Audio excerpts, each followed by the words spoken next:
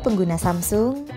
Pada video kali ini, kami akan membagikan panduan tentang cara menonaktifkan ID pemanggil dan proteksi spam pada perangkat Galaxy A32 Anda. Dengan metode ini, memungkinkan Anda untuk dapat menonaktifkan ID pemanggil dan proteksi spam.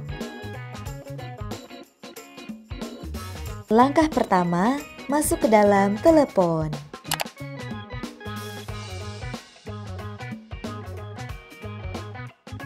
Kemudian pilih titik tiga pada bagian kanan atas.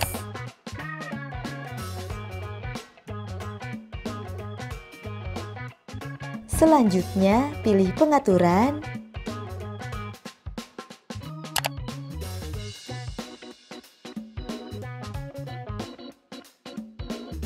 Langkah terakhir, ketuk pada pilihan ID pemanggil dan proteksi spam untuk menonaktifkan.